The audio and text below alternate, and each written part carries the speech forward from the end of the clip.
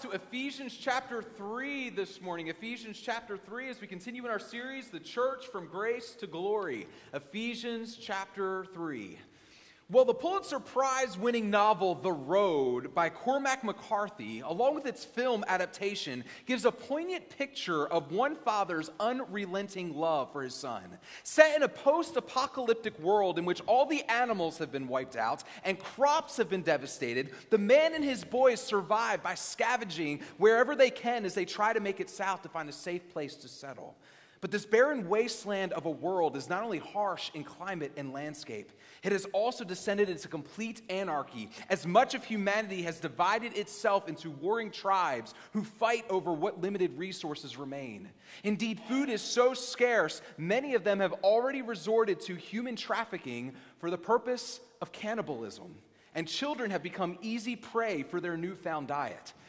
But not if this father has anything to say about it. He knows his one mission is to protect his son at all costs. And he faithfully guards his son's physical life from these evil men. But he also protects and nurtures his inner life, reading him books at the end of the day, tales of heroes and goodness in the world as they sit by a campfire, a welcome source of warmth and light in the midst of an otherwise cold and indifferent darkness. Because the world is bleak.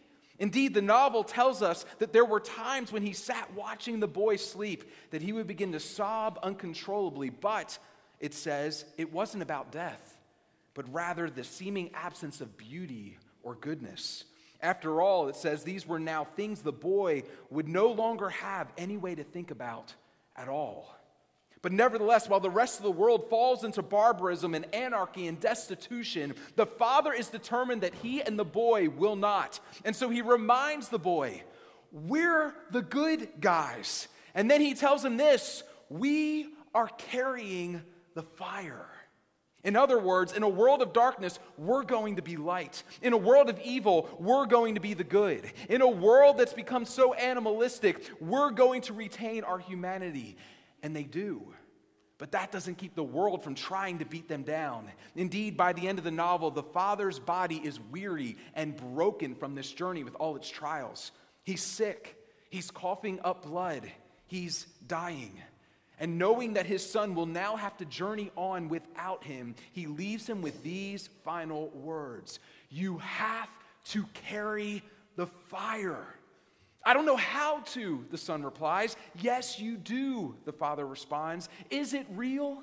The fire, the son asks. Yes, it is, the father assures him. Where is it? I don't know where it is, the son calls out. Yes, you do, the father says. It's inside you. It was always there. I can see it. See, the father had done all he could to protect his son and prepare him for this moment. He taught him to carry the fire, but now it was up to him to carry it alone until he could find others to carry it with him. Because going the way of the world was not an option. He couldn't descend into the darkness because he was the good guy and he was carrying the fire. Now, thankfully, we don't live in the barbaric world of McCarthy's novel. But that doesn't mean our world is any less dark. Indeed, the Apostle Paul just spent the last chapter reminding us just how bleak our present reality is. He says the world is dead, it's full of children of wrath, sons of disobedience who are separated from Christ. That's why he says the world is without hope because it is without God. Indeed, the world is following Satan, the prince and pow- prince of the power of the air. And this is the same course we all once walked, except God made us alive Indeed, by His grace, we have become the good guys. Not because we're good in, our, in and of ourselves, but because we have been brought near by a good God. We've been chosen, he says. We've been adopted, redeemed, forgiven, sealed. We're in Christ, which means the Spirit is now in us. And more than that, Paul says in 1 9 that by grace our eyes have been opened to the mystery of God's will, according to his purpose to unite all things in Christ, things in heaven and things on earth. And how did we come to see and to know these things? Because someone carried the fire to us.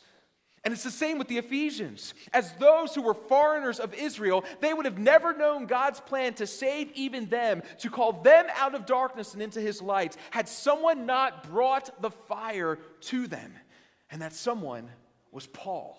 Indeed, Paul feels the weighty responsibility as the keeper of the flame, especially now that we find out his predicament in chapter 3, verse 1, where he says this For this reason, I, Paul, a prisoner of Christ Jesus, on behalf of you Gentiles. See, Paul is writing this epistle from prison. And why is he in prison? for preaching the gospel. Indeed, as he was taking the gospel to the Gentiles, facing the wrath of not only Jewish leaders, but also the Roman and local governments. That's why Paul can say that he is a prisoner for the sake of Christ on behalf of the Gentiles. Nevertheless, you can imagine the Ephesian church is discouraged here. I mean, if the gospel is so powerful that it can bring the dead to life, if they are adopted children of God, then what are they to make of the fact that following Jesus, walking in his ways, has led their leader to shackles and will one day lead to his martyrdom? Is this what victory looks like? And so Paul sets out to remind them that this too is part of God's plan. In a world that has gone mad, he refuses to go mad with it because he says in verse 2 he has received the stewardship of God's grace. And he says, This grace was given to me for you. See, to be a steward is to be entrusted with something, to oversee it, to manage it. And here Paul says that he's been entrusted to carry God's message of grace to the ends of the earth. He's the keeper of the flame, and that flame is the only hope for a hopeless world. So, no matter how hard it gets, as a steward of grace, he's determined he will carry the fire. And he's calling us to do the same, reminding us, first of all, that we're stewards of grace as we receive the gospel. We're stewards of grace as we receive the gospel, because in order to be a steward of something, you have to first accept it. And that's exactly what Paul tells us happened in his life. He says in verse 3 the mystery that through the cross, Christ was tearing down every dividing wall and uniting all things to himself. He says, This mystery was made known to me. How? By revelation, as I have written briefly. Now remember, for us to know anything about God, God had to reveal himself to us because we have two things working against us. We're finite, which means left to ourselves, even before the fall, it would have been impossible in our limited minds to reason their way to God and understand anything about him unless God condescended himself and made himself known to us. But that's exactly what we see him doing in the garden. We see him walking and talking with Adam and Eve. But friends, he was under no obligation to do this to us, to, for us. He could have been the God of the deists who set the world in motion but never, never interacted with it again. But our God is a loving, He is a relational God, and by His grace and in His kindness, He revealed Himself to us in the beginning. But then after the fall, we introduced a second barrier to knowing God, our fallenness. When our ancestors, Adam and Eve, sinned, it corrupted every aspect of our existence, including the desires of our hearts and the thoughts of our minds. That's why, as we've seen, left to ourselves, we are not only blind to the truth, we actively suppress the truth. That's why Colossians 1:21 says we were hostile in mind, and Romans 1:21 says we became futile in our thinking, our foolish hearts were darkened. No wonder then Romans 3:10 says in our own power none of us would seek for God. So, again, if we're going to know anything about God, He's going to have to disclose Himself to us. But after the fall, even that is not sufficient because we are spiritually blind. Therefore, He also has to open our eyes so that we can see Him, to recognize the truth, to desire the truth, which He does as the Spirit of God works through the Word, the revelation of God, to incline our hearts to God. And that's exactly what God did in the life of Paul when the risen Christ himself appeared to him on the Damascus Road and asked him, Why do you persecute me? See, Paul had been zealous in his attack upon the church. As a devout Jewish leader, he was determined to wipe out the followers of Jesus and was even present at the first Christian martyr, Stephen. But now Paul came face to face with the very image of God, the Word made flesh. And though he was temporarily physically blinded by the encounter, he began to see spiritually for the first time that Jesus is the Christ. He's the Son of the living God, that salvation is by grace through faith in Jesus and not by anything good Paul had done. And as Paul comes to recognize these things, he's given a special calling. And this really gets to the heart of what this mystery is that Paul has been speaking about. He says this in verse 4. He says, When you read this, you can perceive my insight into the mystery of Christ, which was not made known to the sons of men in other generations, as it has now been revealed to his holy apostles and prophets by the Spirit. So we see, first of all, Paul was commissioned by Christ to be an apostle. Now, remember, as we saw in a previous passage, the apostles were the foundation of the church because they were eyewitnesses to the resurrected Jesus and because they were commissioned by Jesus to establish the church and to faithfully teach and proclaim the gospel that he had proclaimed to them. To tell the world that though we are sinners who deserve to die and be separated from God forever, God sent his sinless son Jesus to take on flesh, to fully obey the law on our behalf, to then take the punishment and penalty we deserve on the cross even as he transferred to us all his righteousness. And in rising from the grave, he conquered sin and death, making it possible for all who believe no longer to perish, but have everlasting life. This was the message that he entrusted to them. But Jesus also entrusted these apostles with another important task that was critical to the establishment of the church. Jesus promised these men that he would send his Holy Spirit to guide them in all truth. In John 17, 8, Jesus explains, I have given them the words that God gave me, and they have received them and have come to know in truth that I came from God, and they have believed that God sent me. And so, by the Holy Spirit, He revealed to them everything they were to write down without error, so that we who were not eyewitnesses to everything Jesus did could read these things for ourselves. And as John 20, 31 says, believe that Jesus is the Messiah, the Son of God, and that by believing we may have life in His name. In other words, they were given revelation from God so they could write the books that now make up the New Testament, so that we could read these books and come to receive the good news of the gospel just as they did.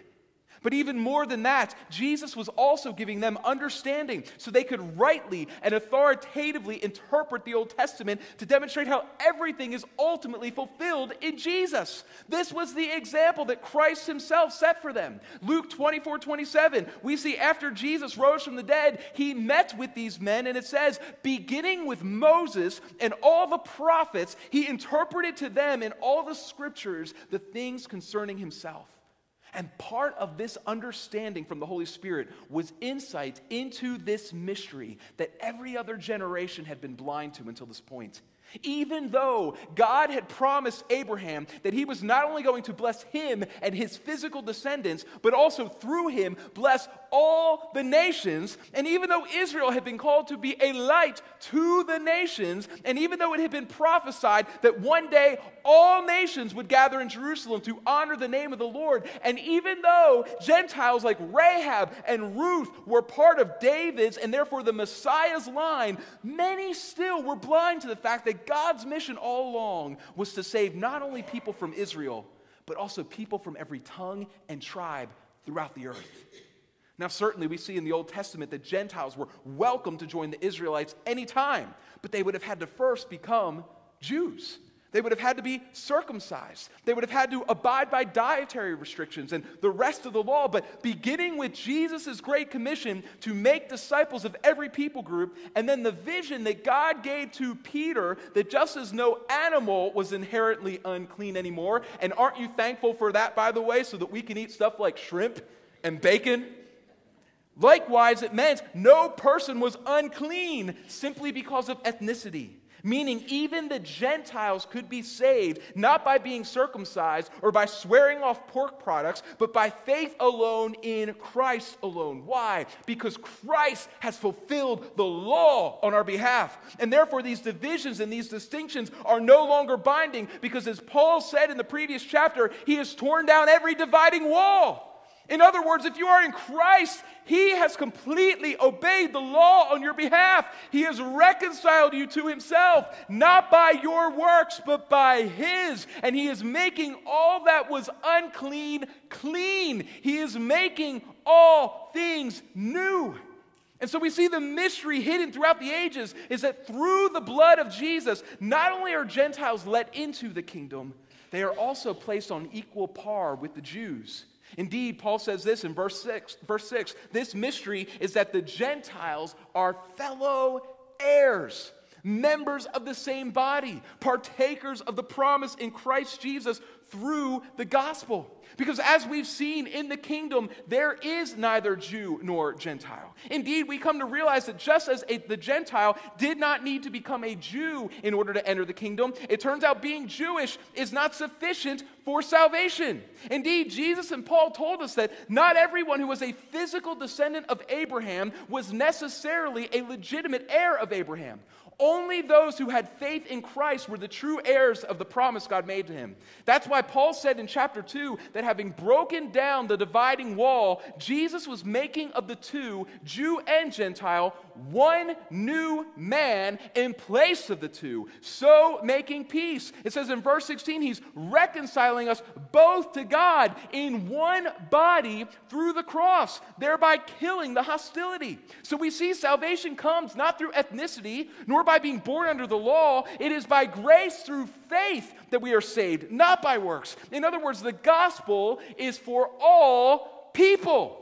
This is the glorious revelation given to the apostles, including Paul. And so, as Paul sits in prison, he does not lose heart because he knows he carries the fire.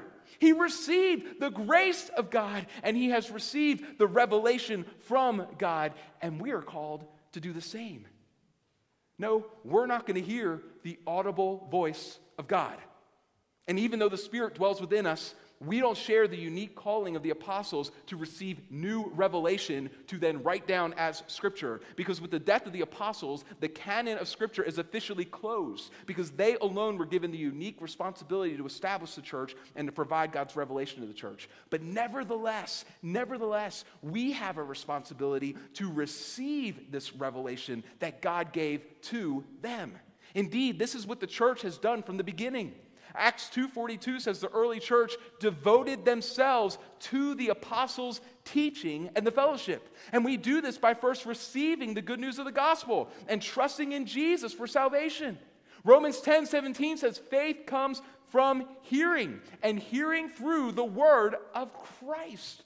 So no one is saved apart from this revelation given to the apostles. Again, we come to faith when the Spirit of God works through the Word of God to incline our hearts to God. And friend, you can receive this revelation, this grace today. John 3:16 says God so loved the world that he gave his only son that whoever believes in him should not perish but have eternal life. Listen, no matter who you are, where you've been, what you've done, you don't need to be unclean any longer. Jesus loves you. He died for you. He wants you. And all you need to do is turn from your sin and trust in Him. And though you were once far off, alienated, separated from Him, whether as a Jew or a Gentile, you can be brought near today. You can come home today. You can receive the fire today. But having received the fire, we see we're also called to be caretakers of the fire, to hold fast to the revelation of God's word and to walk in accordance with it. Indeed, Jesus said that if we love him, we will obey his commands, and that if anyone loves me, he will keep my word. 1 John 2 24 likewise says, As for you, see that when what you have heard from the beginning, listen, remains in you. I am writing these things to you about those who are trying to lead you astray.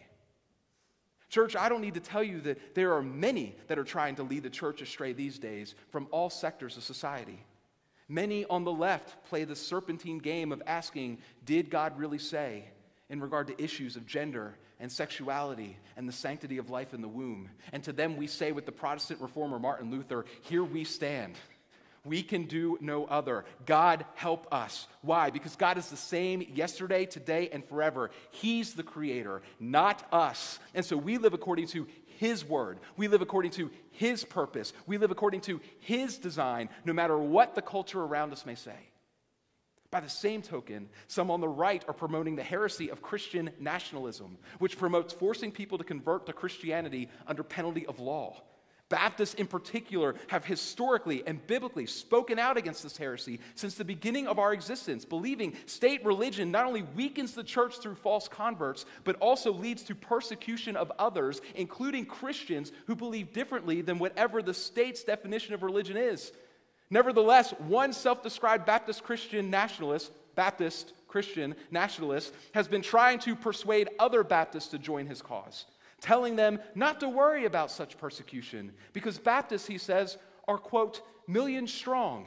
And so he's, quote, pretty confident that if anybody's going to be doing the persecuting, it'll be us, end quote. Friends, that's about as antithetical to the gospel as you can get. That's a pretty big leap from blessed are those who are persecuted to blessed are those who are persecuting. To them, we say with Jesus, Christ's kingdom is not of this world. Indeed, Jesus said to put away the sword. His kingdom will not advance by physically conquering Jew and Gentile and assimilating them into our man made kingdoms under threats of convert or die, but by leading Jew or Gentile to faith in an everlasting kingdom where we will never die. Because salvation does not come through boots on the neck but again, as the Spirit of God works through the Word of God to incline our hearts to God. Friends, there are dangers everywhere. There's shifting sand everywhere, faulty foundations everywhere, but we are firmly planted on that apostolic foundation where Christ alone is the cornerstone because we've received this holy revelation. We're stewards of the grace entrusted to us, so we're not deviating to the left or to the right. In fact, as one pastor said, we're transcending the whole godless system because our eyes are fixed on Jesus and his kingdom because, church, we carry the fire. So we're stewards of grace by receiving and holding fast to the gospel. But we're also, we see, stewards of grace as we proclaim the gospel. Indeed, Paul tells us in verse 7 of this gospel, I was made a minister according to the gift of God's grace, which was given me by the working of his power. See, it is only by God's grace that Paul is now able to proclaim the message of God's grace. Not only because left to himself, he, like all of us, would have never received God's grace and therefore needed the power of God to do so, but also because of the nature of Paul's initial response to God's grace. Indeed, he says in verse 8, What? I am the very least of all the saints. Now, why does he say that? Because not only was Paul once like us, an enemy of God in his sin, no, as we've seen, he was also once actively trying to suppress and annihilate the work of God by destroying the church of God. So Paul isn't faking humility here. He's serious. He's like, guys, I'm so bad. I don't even know how I got into this kingdom, much less that I get to lead in this kingdom. I'm only here by grace. And friend, I'm here to tell you today that if God could do that for Paul by grace, there's nothing in your life keeping him from doing the same for you. Listen, your sin might be great, but Jesus is greater. But notice the gift of grace isn't so that he can just sit back and chill until Jesus comes back and takes him to heaven. No, the gift of grace is always a call to action. And God saved Paul for a purpose. In Acts 9:15 it says God revealed that Paul was to be my chosen instrument to proclaim my name not only to Israel but also to the Gentiles and their kings. And that's what Paul tells us here. He says in verse 8, To me, though I am the very least of all the saints, this grace was given to preach to the Gentiles the unsearchable riches of Christ in other words, in light of the fact that God has revealed that the gospel is for all people, Paul isn't going to sit on that and hoard the blessing for himself, relaxing around the comfort of the fire, all warm and cozy, while others are out there dying in the dark and the cold. No, he, like Abraham, is blessed to be a blessing. So he's carrying that fire, verse 9, to bring light for everyone? What is the, bring to light to everyone? What is the plan of the mystery hidden for ages in God who created all things? See, Paul says, having been given this revelation, I have a responsibility now to proclaim this revelation, this mystery hidden for ages in God to people from every nation. And, church, Paul says we do too. Indeed, the reason Paul preaches the gospel is this look at verse 10 so that through the church. The church made up of Jew and Gentiles, one new man through the church, the manifold wisdom of God might now be made known to the rulers and authorities in the heavenly places. This was according to the eternal purpose that he has realized in Christ Jesus our Lord, in whom it says, we have boldness and access with confidence through our faith in him. See, God's plan has always been the church. We are his eternal purpose, his one design, realized in the work of Jesus on the cross. Because it is only by his sacrifice that we now have access to God. Confident access, it says, bold access. Indeed, Hebrews 4:16 says, through Christ, we now approach the throne of grace with confidence.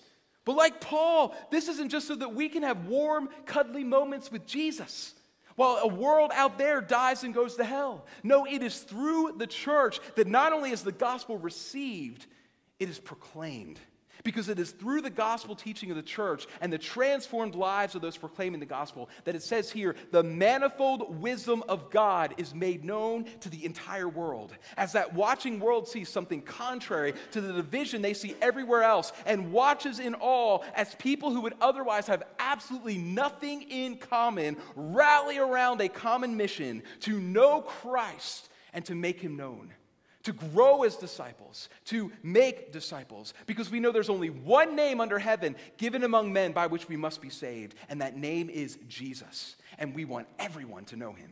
And so we proclaim it at school, at work, on the field, in our neighborhoods, in our families, wherever God has placed us, we proclaim the good news that Christ is redeeming everyone who turns from their sin and believes in his name. But notice here, our proclamation isn't just going throughout the earth. Our proclamation transcends this realm and becomes otherworldly because it says our message reaches even the rulers and authorities of the heavenly places. That means as the gospel is proclaimed with our lips and with our lives, as the dividing wall of hostility is torn down in our midst, it is not only a testimony to the watching world, it is also a declaration to the spiritual realm that Jesus is in fact king triumphant over the demonic powers, celebrated by the heavenly hosts, who day and night cry, Worthy is the Lamb who was slain, to receive power and wealth and wisdom and might and honor and glory and blessing. Church, did you know the angels are marveling over us right now? Not because there's anything inherently special about us, but because there's something glorious about what God has done in us. That's why 1 Peter 1:12 says that even angels long to look into these things. What things? It says the things that have now been told to you by those who have preached the gospel to you by the Holy Spirit sent from heaven. See, even the angels can't believe what they're seeing with their eyes that God has brought the dead to life that he has brought the stranger and the alien home, that he has brought the far off near, made Jew and Gentile one, and that he's now entrusted us, us, with these things to make his grace known among the nations, to carry the fire by not only standing firm in the truth of God, but also in proclaiming the truth of God, his love. Because there's a world in death and darkness. But, church, we carry the fire. So let's carry the fire. So we see as stewards, we must receive the gospel. We must proclaim the gospel. But finally, this morning, we see this that we are stewards of grace as we endure for the sake of the gospel. Paul says this in verse 13. He says, So I ask you not to lose heart over what I am suffering for you, which is your glory. See, Paul wants the Ephesians to know that his imprisonment was not a defeat.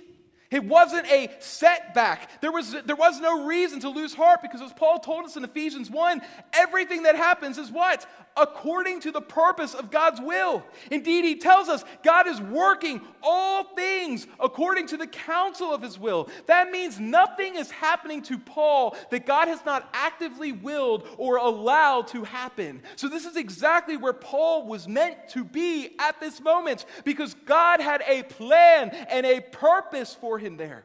Indeed, when Paul was writing to the Philippians from prison, he told them, What has happened to me has really served to advance the gospel.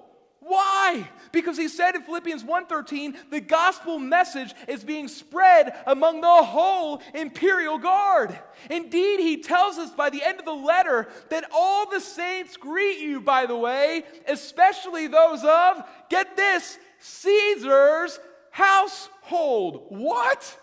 See, it wasn't an accident that Paul was in prison. God had sovereignly placed him there. Why? Because according to Ephesians 1, before the earth's foundation, God had chosen some in that very spot and at that very time to be adopted, to be redeemed, to be sealed by it for a glorious inheritance. So he sent Paul to carry the fire there. And by his grace, God actually placed Paul in prison to proclaim his message of grace that those who were dead might be brought to life as the Spirit of God worked through the Word of God to incline their hearts to God to receive the gospel of God. So Paul's suffering was not in vain. God was using it all to fulfill his plan and his purpose. And Paul wanted the Ephesians to know it's worth it. Indeed, Paul was willing to suffer greatly if that was the cost to get the gospel to Gentiles like the Ephesians. And, church, he's inviting us to do the same. I don't know what hard spot you find yourself in this morning. And I'm not saying that every hard spot is one you should stay in. For instance, if you're in an abusive relationship, you should get out. But I say this my fear for many of us is that we live in a culture that prizes comfort above everything. So when things get tough, our natural tendency is always to run, to avoid suffering at all costs. But listen, what if it's not an accident that you're in the challenging situation you're in right now at work, at school, in your family, with your health? What if that's not a setback, but an opportunity? What if instead of lamenting this suffering has come your way, which is totally okay to do as we see in the Psalms, but what if instead of just doing that, you also ask God to open your eyes to what purpose He has for you in the midst of this suffering? To be a steward of His grace to those who are watching, to carry the fire into the darkness of this moment.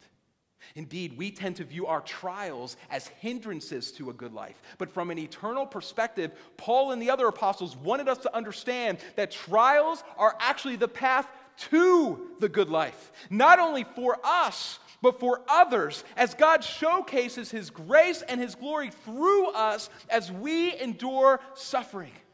That's why Paul says here that his imprisonment is not for their shame, but what? It is for their glory. Why? Because if we are in Christ, then our present suffering is not only evidence that we belong to Jesus as we share his sufferings, it is also proof that we will likewise share in his glory one day. That's why Jesus told us that we are blessed when we are persecuted. Why? Because he says it is proof that we will inherit the kingdom of heaven. Indeed, he says in verse 11, Blessed are you when others revile you and persecute you and utter all kinds of, th- kinds of evil against you falsely on my account. Rejoice and be glad, he says. Why? For your reward in heaven will be great. For this reason, Peter likewise admonished us not to be surprised at the fiery trial when it comes upon you to test you, as though something strange were happening to you. But rejoice insofar as you share Christ's sufferings. Why? That you may also rejoice and be glad when his glory is revealed. That's why Paul actually went so far to say he wanted to share in Christ's sufferings, becoming like him in his death, that by any means possible, he says, I may attain the resurrection from the dead. Because again, suffering for Christ now is, a, is guaranteed for glory then. Friend, your present trials are not an accident. They're not only part of God's plan to refine you to become more like Christ, but they are also an opportunity for people to see the power of the gospel of grace at work in you as you do not respond in anger or resentment or bitterness or retaliation, but rather in forgiveness, peace, love, showing a hopeless world where hope can be found. Listen, man, Paul could have gone off on the Romans for the injustice of his imprisonment And certainly he reminded them that as a Roman citizen, he was entitled to certain rights. But listen, Paul knew his primary mission was not against Roman powers, but as he will tell us in chapter 6, against the cosmic powers of this present darkness. So his goal was not to fight like a Roman, but to love and to serve like Jesus. And how did Jesus serve? Jesus told us he came to serve by what? Giving his life as a ransom for many. See, the kingdom comes not by taking up arms, but by laying down our lives. If this is the way our Lord and our Savior operated, should it be any different for us? If this path to glory, if his path to glory was through the cross, why should we expect anything different? Jesus told us as much in John 15 20. He said, A servant is not greater than his master. If they persecuted me, they will persecute you also. Indeed, he warned us the world will hate you because it hated me first. So, Paul says we should not lose heart as we navigate through these dark days. In fact, these trials should only embolden us all the more to endure. Why? Because we are the light of the world. And where does the light shine brightest? In the darkest places. And so we will not be discouraged because we're stewards of grace. We carry the fire. Indeed, we receive the gospel.